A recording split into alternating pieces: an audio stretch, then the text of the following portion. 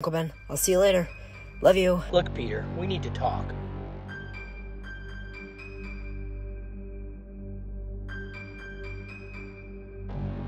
My name is Norman Osborn. I work for a massive company called Oscorp, and we were working on a formula to cure cancer, and things only got worse from there.